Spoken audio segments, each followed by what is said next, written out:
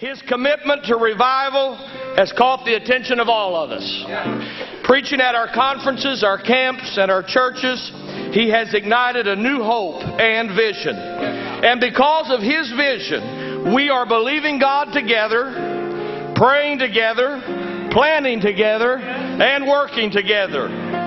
God called Jack Cunningham from a great revival church in Newport News, Virginia, that he started to direct our home missions division, and from this position of influence, a strong evangelistic thrust is gaining tremendous momentum. As he comes to deliver the burden that he brings to this service, let us open our hearts to the challenge. How many are willing to do that as Brother Jack Cunningham comes?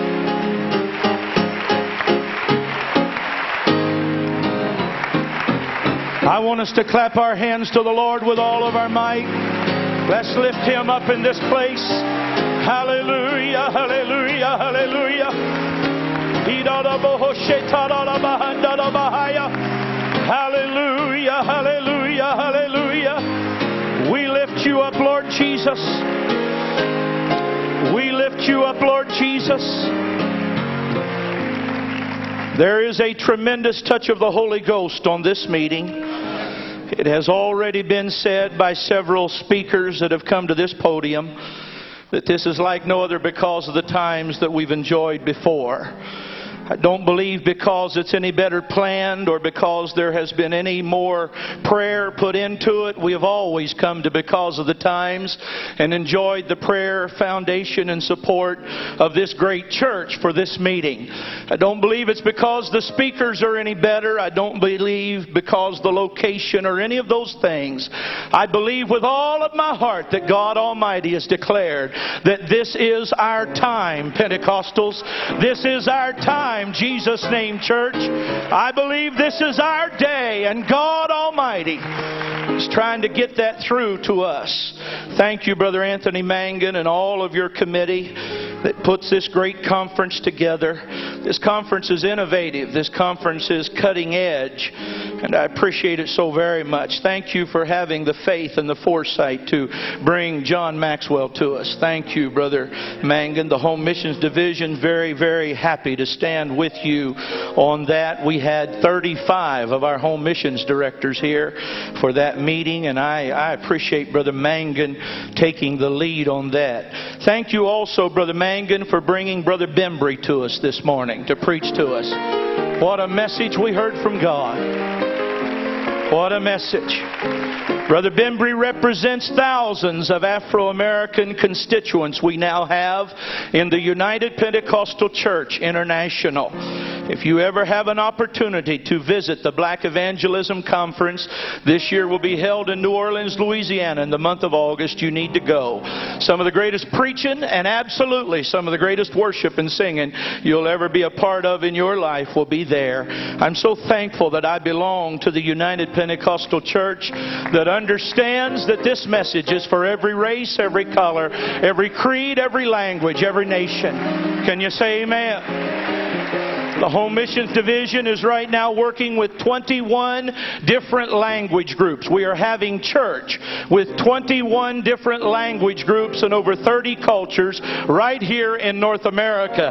That ought to thrill your heart that the church is reaching so many different people.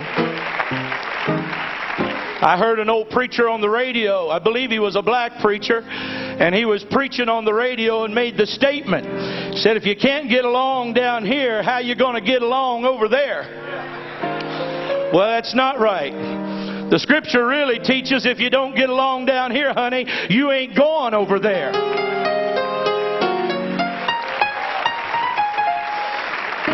And I like what I have felt in this conference. I am so thankful, so very, very thankful. Every preacher that has got up to preach, you have stirred my heart, left me with my face in the seat, weeping and crying and asking God to help me. Brother Mangun last night, Brother Anthony Mangun set the pace for this meeting.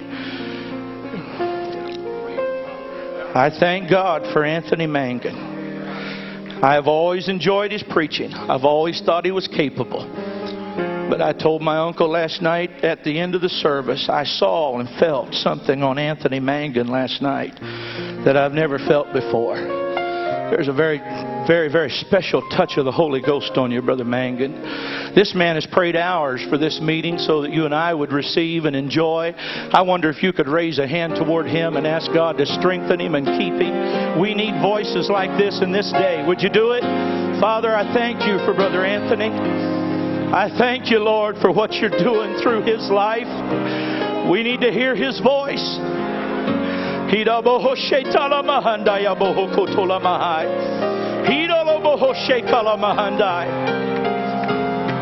Hallelujah, hallelujah, hallelujah.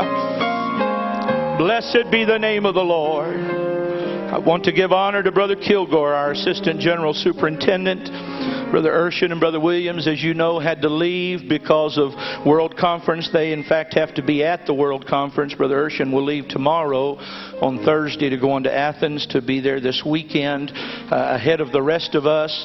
But I appreciate the message our superintendent brought us last night. I want to go on record. I'm one God, apostolic, tongue talking, holy rolling. Praise God. I believe this message God's give us. Sister Mangun, Brother Kilgore, Brother Bembry, all the preachers that have preached. Thank you so very, very, very much. In your Bibles, let's turn to the book of Numbers, chapter 13. If I was interested in politics, I'd preach the second sermon to you that I brought in my book today. What I'm going to preach to you may be political suicide, if there's any such thing. But I've got a message from God if I've ever had a message in my life from God. There's something happening in our church. Do you feel it? I said, Something's happening and it feels good. Put both hands in the air, will you, real quick? Real quick. Father, we're thankful. We're thankful for what you're doing. We're thankful for what you're doing.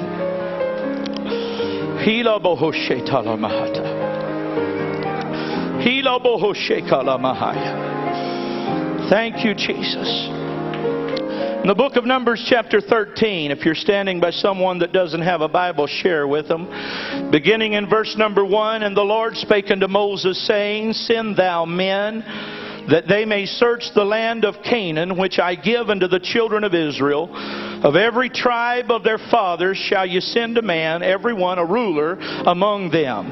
And Moses, by the commandment of the Lord, sent them from the wilderness of Paran. All those men were heads of the children of Israel, and they returned from searching of the land after forty days.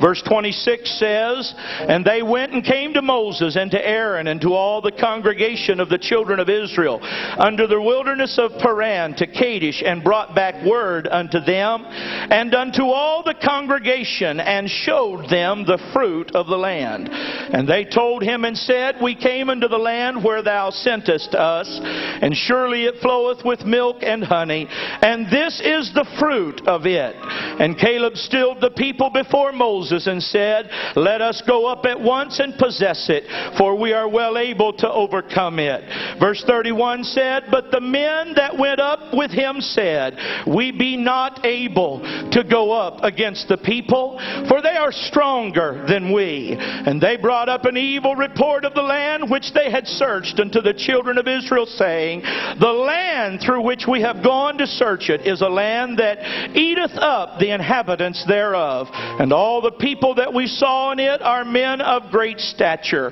Verse 33 and there we saw the giants, the sons of Anak, which come of the giants, and we were in our own sight as grasshoppers, and so we were in their sight.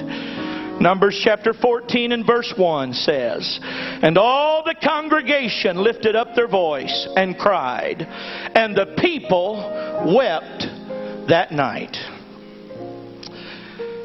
When they asked me what title to put on this tape so they could go ahead and pre-print labels, I guess. I thought if I was going to use a title that would be proper English, I'd say, What is the message? Or what are you going to tell them? But because I'm from Virginia, I'm just going to title this, What You Going to Tell Them? What you going to tell them? Our church is standing at the most critical juncture in the history of the Jesus name movement. And somehow, and because of the times, 1995, we have to settle what we're going to tell them when we go home from this meeting. Let's bow our heads. Brother Cole, would you come? And I want you to pray for us. I thank you for the holy presence of God that is in this place. I thank you for the holy anointing that is upon Brother Cunningham to speak to us today. I thank you for the holy anointing that is upon each of us. Touch us, O Lord, that we may hear your voice in Jesus' name. Amen. Would you clap your hands again before you're seated? Hallelujah. We love you, Jesus. We love you, Lord Jesus. We love you, Lord Jesus. For the sake of time, I will not go into detail. You know the story of how that God miraculously led the children of Israel out of Egypt toward the promised land. You know the story of how that Moses and Aaron went in before Pharaoh more than three times and said, Let my people go. And finally, God sent the plagues, plague after plague, until finally the heart of Pharaoh was broken because of the death of his eldest son, to the point that he opened the gate and told the people of Israel to go ahead and leave Egypt and follow after your God. You know the story of how that God brought them to the Red Sea. There is a mountain on either side, and Pharaoh's changed his mind. And now his army is in hot pursuit of the Israelite people. And at night, the Bible said Moses stretched his rod out over the sea, and a wind blew through that night. And when they awoke in the morning, that sea had stood back and it made a path for the children of Israel to walk across on dry ground. You know how God led them by a pillar of cloud by day and a pillar of fire by night. God was with his people. God was definitely in charge. God was most assuredly leading them toward this promised land. And the Bible would have us know that when they arrived at Jordan, just across the river from the land that God had promised to them, that God spoke to Moses and said, Choose out 12 men. Notice in the scripture, if you will, he said, A leader from each of the 12 tribes of Israel. And let those 12 men as spies go into the promised land and let them spy out the bounty and the blessings that I have promised you and come again and report to Moses and Aaron and to all the congregation. The Bible said that these 12 spies found the land full of bounty just as God had promised it to them. God had said it was a land flowing with milk and honey, and that's what the spies found. He said there were walled cities and houses that you did not build. I'm going to give it to you, God said. And that's exactly, Brother Barnes, what the spies found in that land. He talked about streams of water. He talks about the beauty and the cool of the day. He talked about vineyards and more. It was all just like God told them it would be. After spying out the land for many days, they returned to report to Moses and Aaron. Two of the twelve returned with a positive report, but ten of the twelve came back with a negative report. And as these twelve spies are telling Moses and Aaron and the leaders of Israel what they found and what they saw in that land, the Bible would have us to know that all the people of Israel began to gather together. All of that band of Israel Israelites began to congregate. They wanted to hear the report. They wanted to see the fruit of the land that had been brought back by this band of 12 spies. As you read the story, you find that Joshua and Caleb are overtaken with excitement. These are young men that are so full of faith and so full of belief in what God had promised them that it's just bubbling over within them. They scream to the people, It's everything that God said it was. It was Caleb that made the statement, We came into the land whither thou senteth us, and surely it floweth with milk and honey. And then he points to two men that's with them, that on a pole across their shoulders is one cluster of grapes. And he said, Look, there's the fruit of it. That's an example of what this land is full of. Oh, I don't know how you feel tonight, but I'm thankful for men of God in our fellowship and women of God in our fellowship that can look beyond the dark times and look beyond the negativism and look beyond the devastation of our generation. And they can say, This is our day, this is our hour, this is our time, our God is in charge. This was Caleb and Joshua overtaken with excitement. And the Bible said that Caleb stilled the people. Everybody said Caleb stilled the people. Read it in your Bible. Caleb stilled the people before Moses. And Caleb said, Let us go up at once and possess it, for we are well able to overtake the land or to overcome it. There was a strange hush that filled that congregation. There was an anticipation that settled settled in the hearts and the minds and upon those that were gathered there. Literally thousands of men and women stood with bated breath expecting to receive their marching orders from Moses. They fully expected men of God to say, roll up your pant leg men. We're going to wade in the Jordan. We're fixing to go take the land that God's give us. The Bible said that Caleb stilled the people so Moses could speak. Be Moses for me for a minute.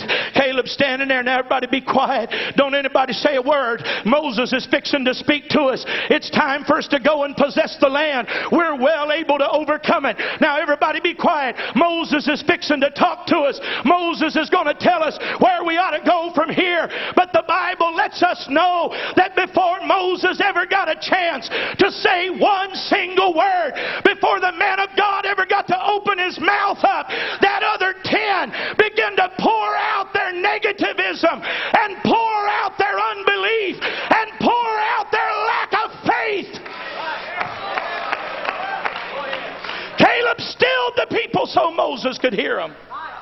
But Moses never got to say a word. The other ten begin to talk. You read it in the scripture. They said, All the people that we saw in it are men of great stature. They went on and said, And there we saw the giants, the sons of Anak, which come of the giants. And then, probably the most faithless statement in the Bible. Those men in the last verse of chapter 13 said, We were in our own sight as grasshoppers, and so we were in their sight. What negativism. The people's waiting to hear from Moses. Caleb's waved his arms and said, Everybody be quiet. The man of God's fixing to tell us where to go from here. The man of God's fixing to give us direction. But before he can lift his voice, there is this throng of negative witnesses, 10 to 2, if you please, that lift their voice and say, It's not time. We can't too great in the land. Oh, God. After those ten spies gave their negative report, read it in your Bible. A spirit of oppression settled upon the people. Moses couldn't say a word. The man of God is shut up by the negativism of 10. And a spirit of depression and oppression hang over the people. And in Numbers 14 and 1 it says, And all the congregation lifted up their voice and cried, and they wept all that night. All you could hear in the camp of Israel, coming from the tents of Israel, was the weeping and the wailing and the moaning. Wasn't a shout of victory. It wasn't rejoicing. It wasn't even intercessory prayer, Sister Mangun. It was the wail of defeat. It was the, it was the weeping and the wailing and the crying of we're not able. The leadership told us we can't do it. Somebody said it can't be done. We've got to listen to them. They wanted to go. But the ten said, no, we're not ready to go across yet. I present to you that that night Israel lost faith in what God was doing for them. I present to you that that night they forgot all the promises that God had given them concerning the land of Canaan. I present to you that that night the negative report focused on the giants in the land instead of on God who had already given them the land and they lost all their faith and belief in the fact that God said, I'm going to give it to you. That night Israel's hearts was stricken with fear and the Bible said they cried all night long. The results was the results were staggering because they believed the negative report. You hear what I'm telling you? Because they believed the negative report. Israel did a U turn and they went wandering into the wilderness. They wandered for 40 years until every negative, unbelieving, and fearful Israelite was dead. Do you hear what I'm telling you? I'm telling you, they wondered until every human being standing there had died, save Caleb and Joshua. Until every one of them was dead and buried in the ground. God let them wonder. Not one person standing there was alive when Israel came back to Jordan again. All because, you hear me, all because of the negative voice, all because of the negative report, all because of the unbelief, all because that 10 would destroy the hopes and the faith of God's elect. As leaders, I'm talking to pastors. I'm talking to evangelists. I'm talking to men and women of God, and I'm very aware of that. I'm talking to district superintendents that I would give my life for you. I respect you. I honor you. I'm talking to men of esteem and leadership in our fellowship. And I mean no disrespect in what I say, but as leaders of the great United Pentecostal Church, we're going to have to become conscious again of what we tell God's people is happening in our world. It's time for you and I to stand up and declare if God said it, He's going to do it.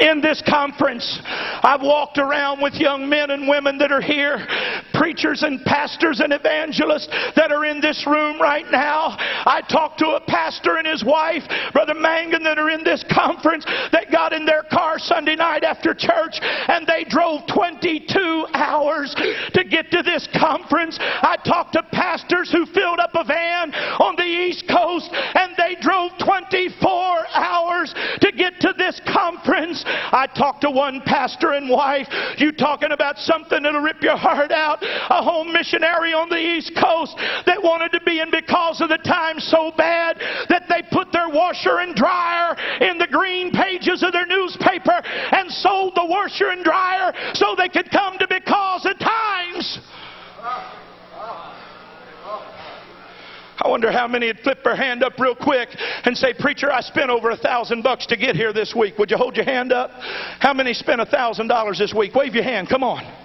How many spent over 500 this week to be here? Wave your hand.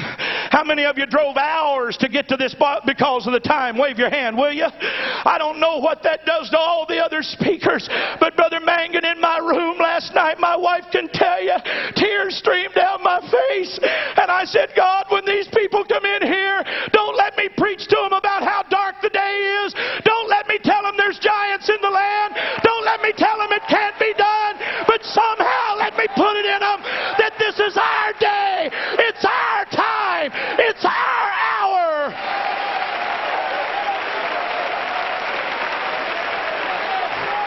Oh, God.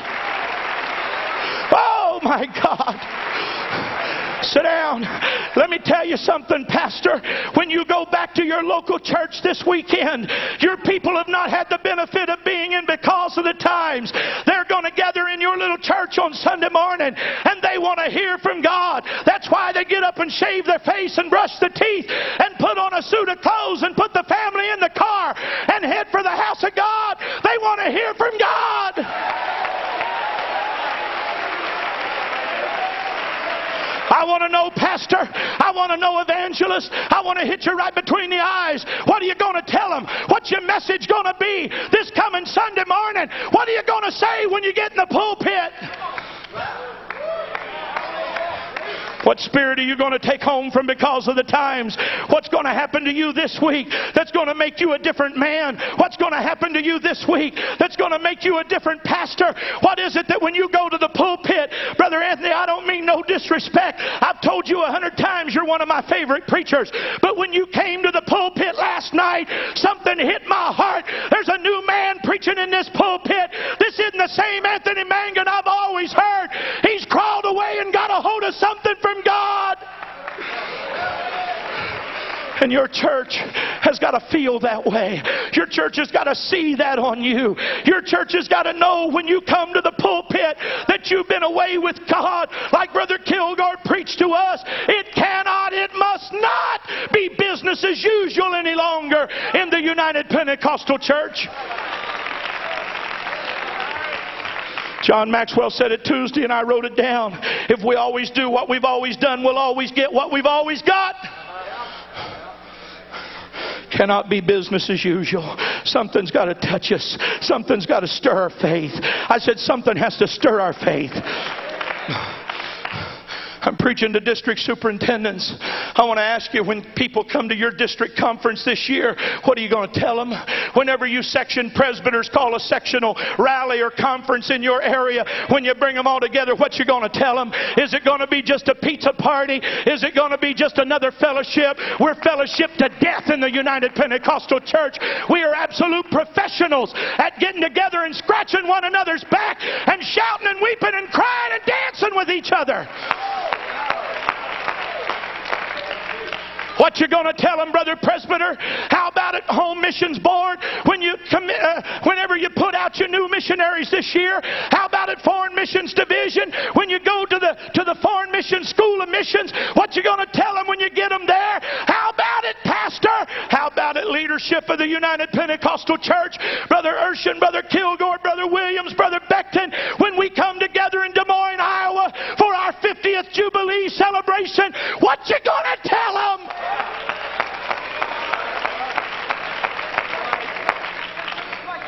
Oh God, something's got to get a hold of us. I said, something's got to get a hold of us. Brother Urshan's been drilling it home to us at WEC.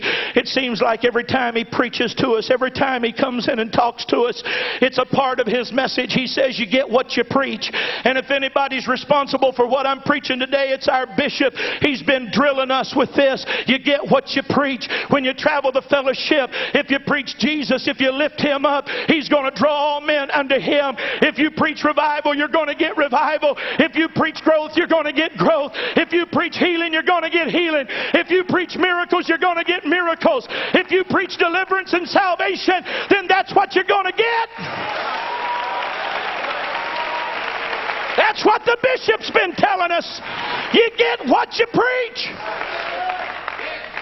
If that's true, then I want to know why are we getting in our pulpits and preaching messages on how dark the day is, how big the devil is, how evil the times are, what huge hurdles we have to clear in order to build a church in the 90s. Our, our church people live in that old dark world. They know how dark it is already. They don't need you and I to tell them again.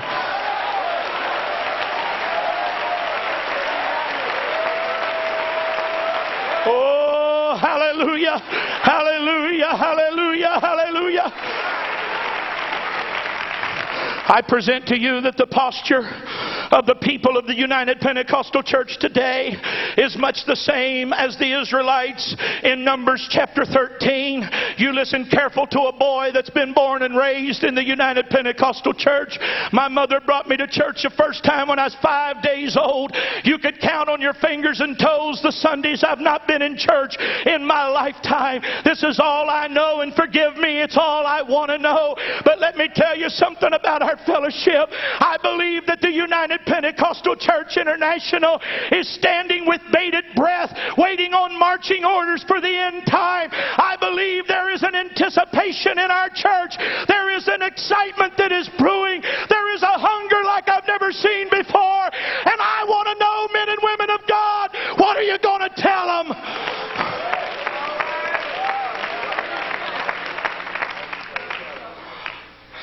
We need men and women of God that have faith and foresight. People that are able to declare without fear. People that are able to declare without hesitation that we are well able to take the land. We need men and women today like never before who are in tune with the Holy Ghost.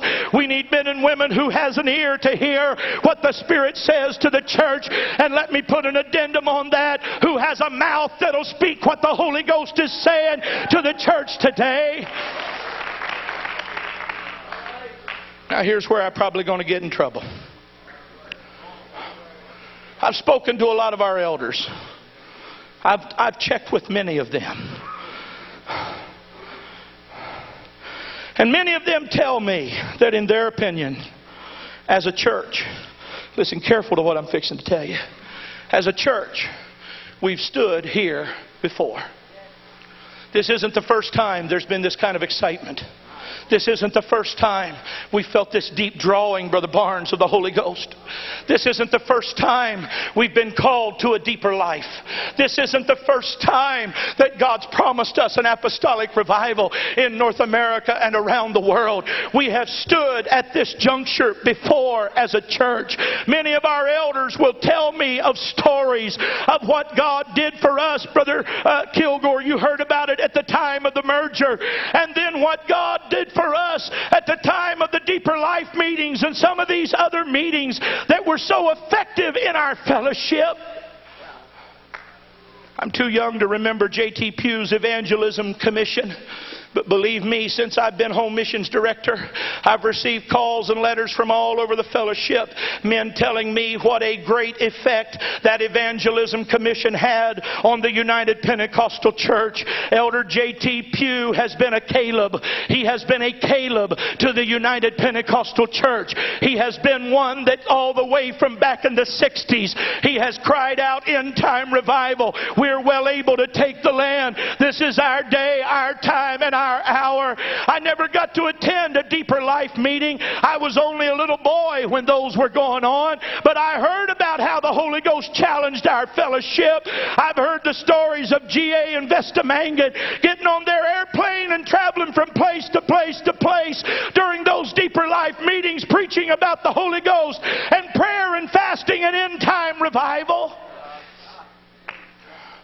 I remember as a little boy, my Uncle Bill coming home from Thailand, a hero in my eyes, traveling our fellowship, doing Holy Ghost rallies, and going into churches that hadn't had 10 get the Holy Ghost all year long. And in one Holy Ghost rally night, he would have 10 and 20 and 30 and 50 in some places in one single night, filled with the baptism of the Holy Ghost. Brother Billy Cole's been a pillar of faith. He's been a driving force behind apostolic revival for the United Pentecostal Church all these years. I thank God for the G.A. Manguns and the J.T. Pughs and the N.A. Urshans and the James Kilgores and the Billy Coles that have not given up like Caleb of old. They've said, Give me this mountain. I still believe we're well able to take the land.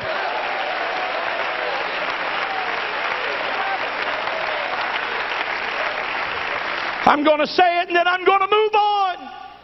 Something happened in the 60s. While the two were saying we can do it, the ten rose to their feet in force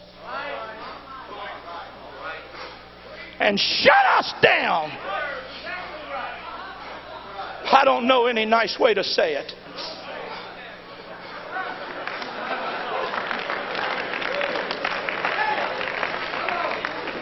They didn't shut Caleb down, but they shut everybody else down. And my heart is grieved. My heart is grieved because I feel like just just allow me to say what I'm going to say and then I'll be out of your way. I believe we're standing in a prophetically charged place again. I believe that what we do or fail to do with the magnificent opportunities before us in 1995 will decide the eternal fate of multiplied tens of thousands. I believe that's what is hanging in the balances right now. Oh, God.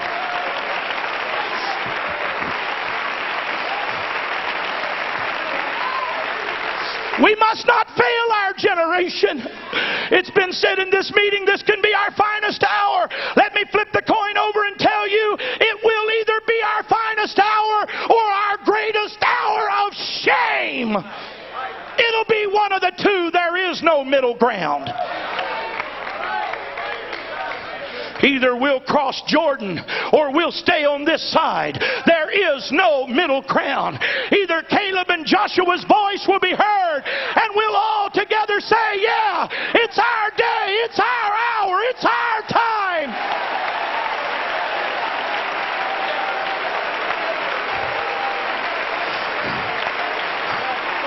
Oh my God.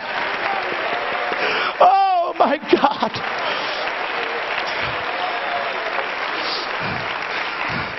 Please be seated. I ask you a question today with great respect for you, but this is my question. It comes from my heart. If we miss the opportunities that are laid at our doorsteps in 1995, when, if ever, will we pass this way again?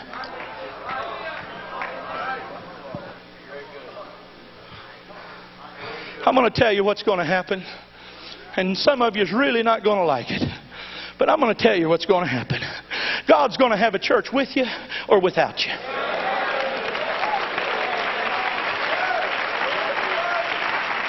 God's going to have a revival with us or without us. I've got scripture for that. There was one man that had to die before Israel could cross over.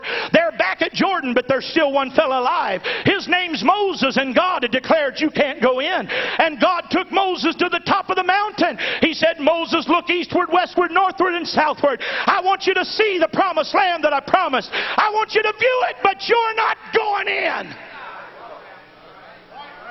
And I got news for you. There's a promised land with us or without us. There's a revival with us or without us. There's going to be a move of God with us or without us. But you're looking at one 350 pound boy that ain't got any intention of sitting on the sidelines. I intend to be in the middle of it. I said I'm going to be in the middle of what God's doing today.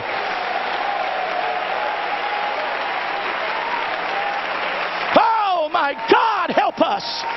God, help us.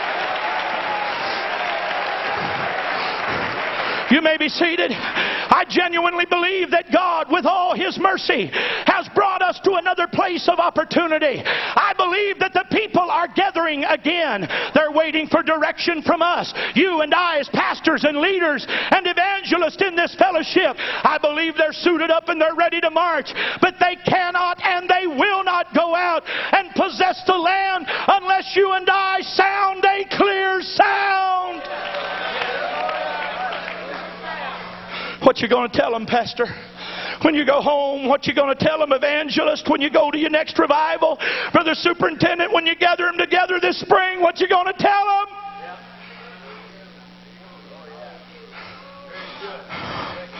When Brother Urshan met our Pentecost Sunday committee, Brother Mike, Brother Anthony, you were there. He surprised all of us. I love Brother Urshan and I appreciate the vision that God's given him for this revival. But when Brother Urshan came in to meet us, he sat at the table, talked with us for a while just casually. And when it come time to open, I said, Brother Urshan, I want you to open the session and greet all these brethren. Talk to the men that have come in to discuss Pentecost Sunday. Brother Mark Foster, you were sitting right on the other side of us. The bishop leaned forward and he stunned everybody at the table because the first words out of his mouth, he said, Brethren, it's time to throw caution to the wind. That's not what you're used to hearing out of the bishop. That's not what you're used to hearing out of people who are in leadership. There is a responsibility that goes with the job that, that leans toward caution and care. But the bishop, with tears streaming down his face, oh, for all of you that are a part of the other ten, he wasn't talking about holiness. He wasn't talking about throwing away standards or doctrine. You heard what he preached last night. He's one God from the top of his head to the sole of his feet. I hugged his neck last night and said, Brother Urshan, I'm praying every day that God will give me a love and knowledge of the truth just like you got it. When he said, throw caution to the wind, he was talking about the day and the time and the hour that we live in. He was talking about the urgency of the day. He was talking about the responsibility of the apostolic church to reach a lost and dying world. Hear me, that's on its way to a devil's hell. Do you understand that? On its way to a devil's hell. Something's got to get hold of us. I said, something has got to get hold of us. In that second chapter of Acts that we all love and hold so dear, we find 3,000 people gathered outside the upper room. They're listening, they're marveling, they're wondering about what they are hearing coming from the upper room. They hear 120 people speaking in other tongues, and many of them speaking in their own tongue. And so questions come forth Are these drunk? How is it we hear them in our own tongue? Some of them say, What meaneth this? This is another place in the scripture where thousands of Israelites stand with bated breath, waiting for answers to their questions, direction for their lives, and spiritual revelation. I'm not sure you and I really understand how much faith it took on the part of the Apostle Peter for him to step forward out of that 12. It's 11 to 1. He's all by himself. And Brother Anthony Mangun, he reached back 400 years and got a hold of an old prophecy of Joel, and he cried out, This is that was spoken by the prophet Joel.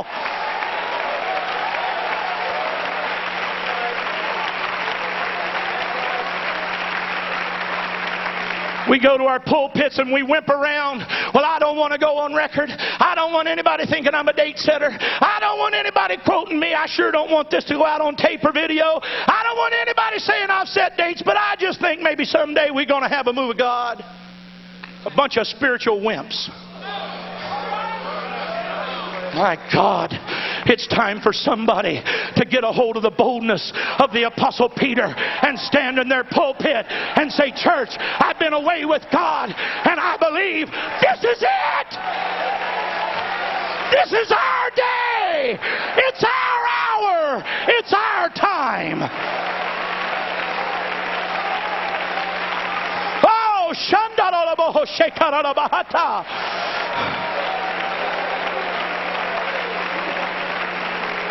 You say, Brother Cunningham, there's people that don't believe it. Let them believe whatever they want to believe. I'm telling you, it's time for Joshua and Caleb to get a hold of something like they've never had a hold of before and lift their voices up loud and don't allow the other ten to drown us out again.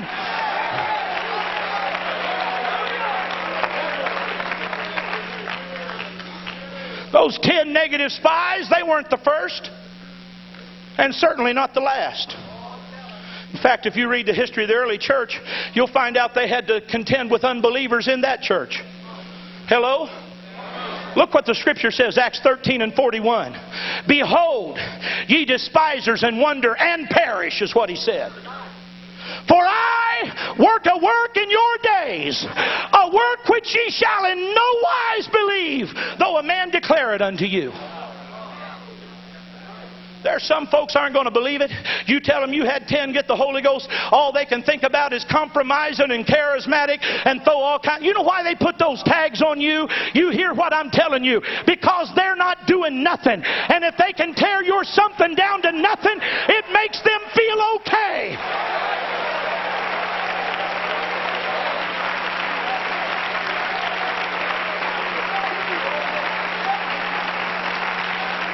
I beg of you, I beg of you in the name of the Lord Jesus Christ, I'm appealing to the United Pentecostal Church International.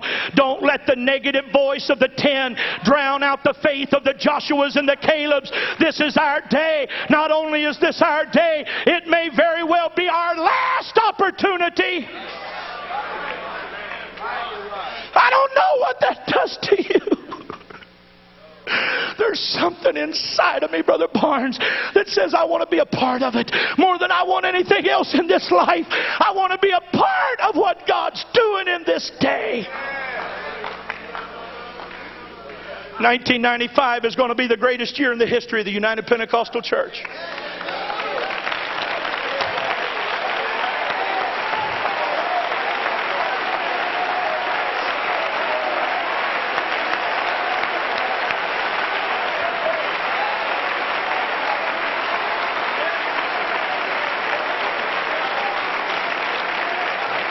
I didn't say might be, maybe, could be, should be. I'm telling you, God Almighty has declared that if you and I is ready to cross over, there's revival for this church, a revival like we've never seen or dreamed of before. The Holy Ghost is being poured out in our day like never before in history.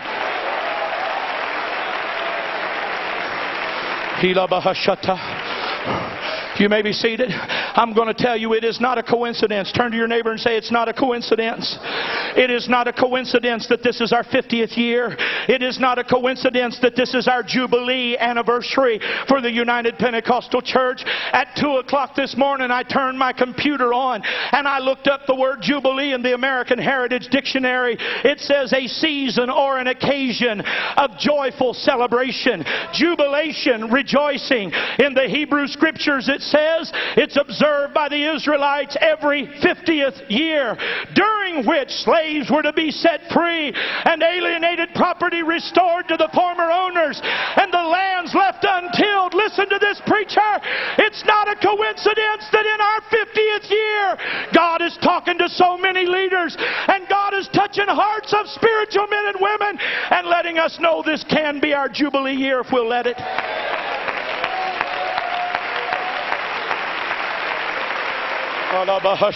Mahaya. Now I'm going to wade in just a little deeper here, Brother Anthony. Listen to what I'm telling you. I was praying over one month ago. I began to seek God about this service, about the responsibility of standing before you. I do not take it lightly. And as clear as I'm speaking to you, God spoke to my heart over one month ago and let me know that because of the times 1995 can be the catalyst, it can be the launching pad. Something can get a hold of us in this meeting. Our minds can be changed this week. Our attitudes can be altered this week. The Holy Ghost spoke to me and let me know that if you and I are very conscious of what the Spirit is saying to the church, and we do not miss the opportunity that we can leave the because of the times 1995 and go back to our towns and our churches and have the greatest year of revival that the church has ever had.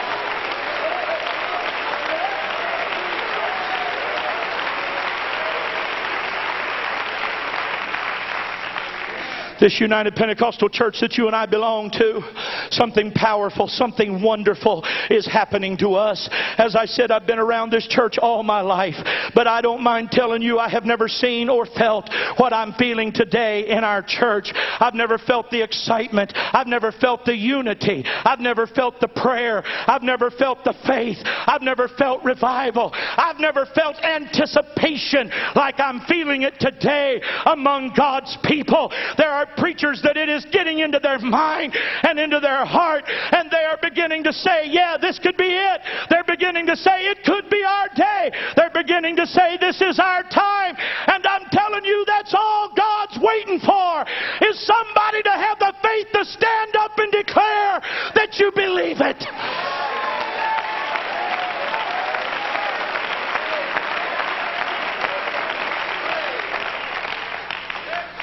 In 1995, right here in North America, we are about to embark upon the largest home Bible study soul winning campaign ever launched in the history of the United Pentecostal Church. We are looking for more than 10,000 Bible studies to be taught in the next three months or the three months preceding June the 4th, 1995.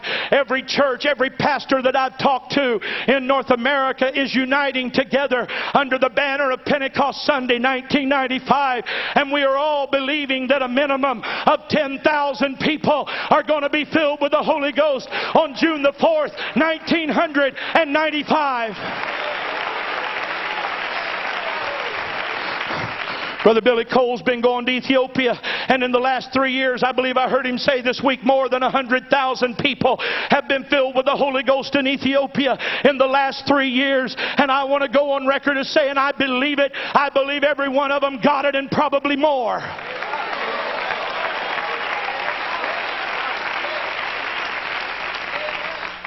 They're getting the Holy Ghost in El Salvador.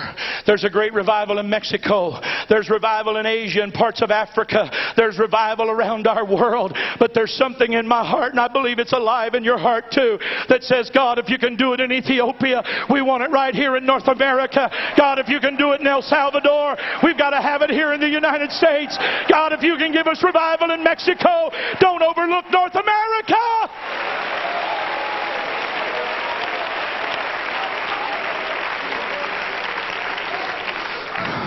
Something's fixing to happen to the North American church. It has, been, it has become solidified in our mind. It's a paradigm that we have to contend with. And that is that thousands can get it on the foreign field, but not here in the United States. That thousands can come to God somewhere around the world, but it can't happen in our land. I'm here to tell you God's fixing to smash that block wall to pieces. He's fixing to crush it below our feet. God's fixing to show us that if we unite together, if we express our faith in where we are and what He's doing, He's going to pour out His Spirit upon thousands right here in the United States.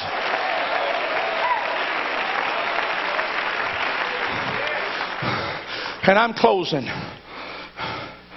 I, I, thank God for the United Pentecostal Church. I wouldn't trade it for anything in this whole wide world. Feel sorry for folks that aren't in it. I love this church. But let me tell you something about our church.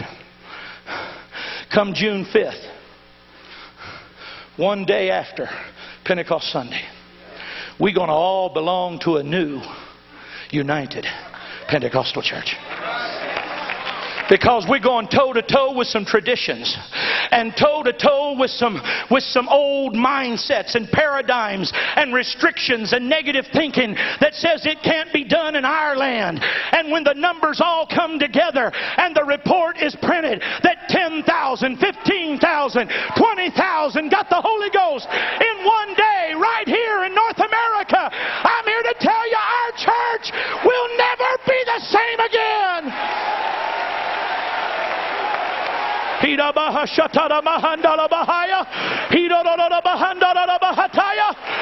I want you to put both hands in the air and I want you to cry out, God, I believe this is it. I believe it's our day. I believe it's our hour.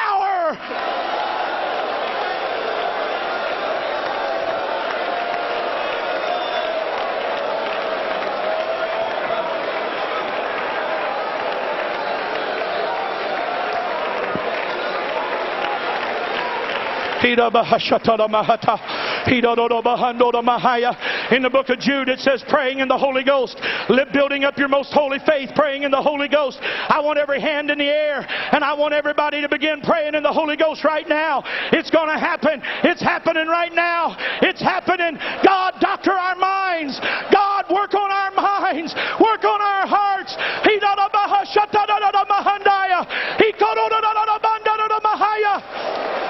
Come on, pray in the Holy Ghost, church. Pray in the Holy Ghost, church. Pray in the Holy Ghost.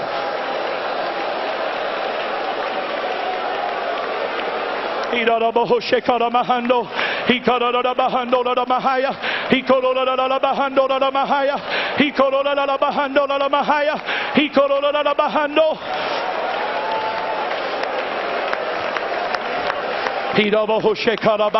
mahaya. He koroda da bahanda da mahataya. He koroda da bahanda da mahataya. Halabahoshe hetiando da mahaya.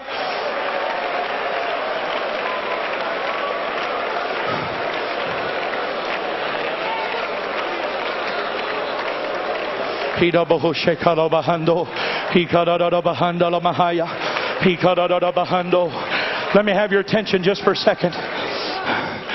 I want you to say some names out loud in prayer. We're going to pray. I want you to speak the name of our General Superintendent, N.A. Urshan, out loud in prayer in a moment. I want you to call the name of C.M. Becton and James Kilgore that just preached so beautifully and powerfully to us. I want you to call the name of Jesse Williams. I want you to call the name of Harry Scism that has the responsibility of leading us and reaching the remainder of the world.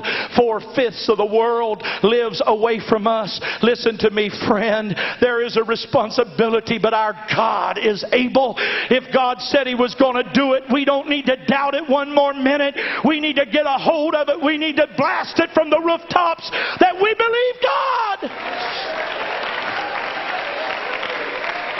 I want you to add to that the name of your district superintendent. I want you to call his name in prayer. And then I want you to add the name of your presbyter. I want you to go right down the line. You say, Brother Cunningham, I may be the one that needs prayer, not my leadership. You reap what you sow. If you'll call on God right now to anoint and bless your leadership, there's going to be people at home tonight, Wednesday night Bible study. They're going to say, Pastor's not here. He's down at because of the times. And a bunch of precious saints are going to put their hands in the air and they're are going to say, God, speak to my preacher this week. God, touch my pastor this week. Put your hands in the air and pray for your leadership. Call their name out in prayer. Call their name out in prayer.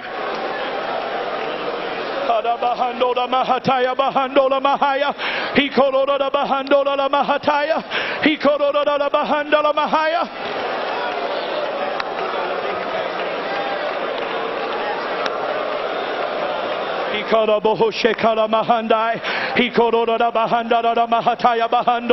God, I thank you for Brother Urshan. I want you to let your anointing and direction be upon him.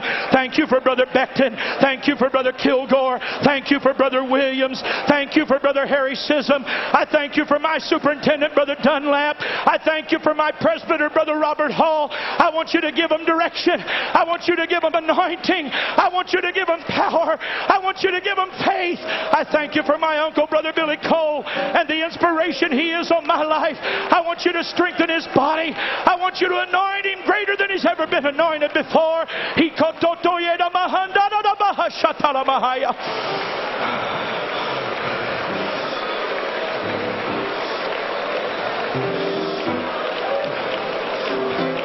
He cut a bahando. He cut out a bahaya. Ever since I was a little boy, and I'm done. Ever since I was a little boy, there's one man that has been known as a prophet among us. This man has declared more years than I've been alive that it's going to happen. This is it. I heard him say it this morning. Brother Barnes grabbed the microphone today and he walked out here and said, This is it. This is our day. I want him to come and pray for you. You've just prayed for your leadership. I want you to come out here, Brother Barnes, and I want you to pray for this audience. I want you to look at the beautiful men and women that are here. We're just waiting on marching orders. We're ready to go. Well, the old prophet said it. At evening time, there shall be light. We heard it just now. I never heard anything like it. Touch me. I'm stirred up. Amen. I wish I was 21. I'd ask for revival. Be going with you. But now, when God said there shall be light, there will be light. I believe this is the people the Lord wants to give that light to. And He's doing it. We're closing this service today in faith believing. I don't believe we're just talking. This is the Holy Ghost talking here. Amen, amen. We just start trying to say something, get you all built up. The Holy Ghost is in this place. The Holy Ghost is here. I want you to put your hands up. We're going to pray for revival all over this nation and all over the world. And believe it. Heavenly Father, thank you for the word of faith today that's poured out upon our souls. Here we stand, believing you for the great revival. The great revival is here, and we shall cross over Jordan. We shall see it. Thank you, Lord. Thank you, Lord. Thank you, Lord. You, Lord. Praise the Lord. Praise the Lord. Praise the Lord. Praise the Lord. It's coming. It's coming. I close with one statement here. The nine spiritual gifts is not given to run the church with, but to bless it. The fivefold ministry is placed in the church, and you're a part of that today. And God has chosen to run the church, to move the church into end time revival through the fivefold ministry. Let's get with it in Jesus' name. Let's go.